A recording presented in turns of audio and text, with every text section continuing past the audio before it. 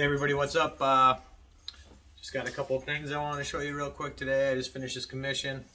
Do a little time lapse of that for you so you can see that in just a minute. Um, today in the mail I got my first sample of some products I'm trying to get made. Um, this is a t-shirt. Got my logo on the back. I think it looks pretty sweet.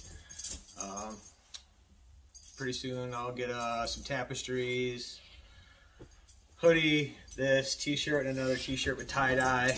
And uh, if I like all the samples, I'm going to put them up on my webpage, and then they'll be print on demand. So if you like them, they'll be printed, sent to you straight from the person that prints them.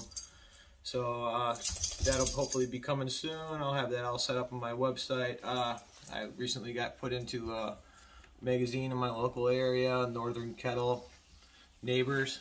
Pretty sweet. They put me in here and got a little article talking about how we got murals going and everything in our area, and that was really nice. The lady from the Washington County Insider, local uh, media outlet around here, also works with this company, got me put in here. I re really appreciate that a lot.